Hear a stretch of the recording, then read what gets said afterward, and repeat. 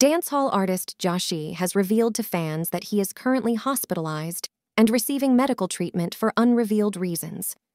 The artiste revealed a video of him laying in bed while tubes carrying blood are attached to his chest. In one photo, he is seen wearing a surgical gown while his hand has IV fluid tubes attached. Jahshii, with his head bent, seems to be on his phone.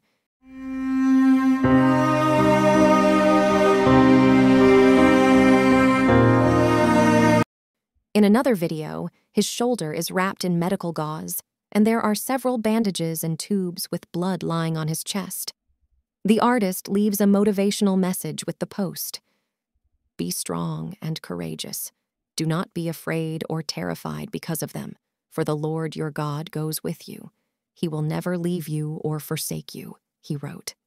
It's been a tough year for Jahshii with at least two murder attempts on his life and his brother being killed in September in what is suspected to be a reprisal killing. The artiste was earlier this year implicated as the one behind the alleged killing of a criminal in Grants Pen following an argument with his mother. Police also called out the artiste publicly, saying that he was wanted for questioning, but he was released after arriving with his lawyer. The artiste has continually pleaded his innocence, despite it being obvious that he was being targeted by criminals seeking retribution for the killing of the Don. In October, he denied that he was being targeted while on the Let's Be Honest podcast. In the meantime, some fans are speculating that Jahshii might have suffered injury to his lung, but he has not confirmed what his ailment is. Others, like Valiant and followers, sent him well wishes.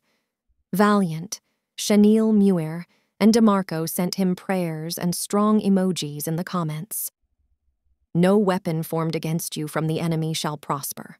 God is with you. Stay prayed up, and I pray for a healthy recovery and strength. Muir wrote, Thank you so much for watching my video. Please like and subscribe my channel for more videos.